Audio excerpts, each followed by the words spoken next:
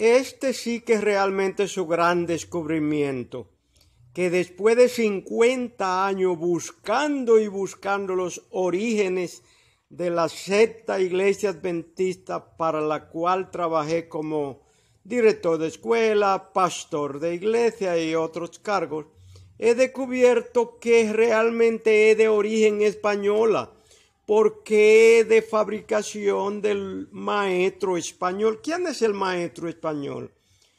Es un imaginario falsificador especializado que falsifica obras de artes que a veces son vendidas por millones. La iglesia adventista del séptimo día es una falsificación del maestro español, porque ahí todo es falso. La iglesia adventista es copia de copias. Copia de la iglesia católica, la iglesia católica probablemente copia de la escuela de Horus, por decir alguna, porque también es copia de Mitra, de Virina y de otras religiones antiguas.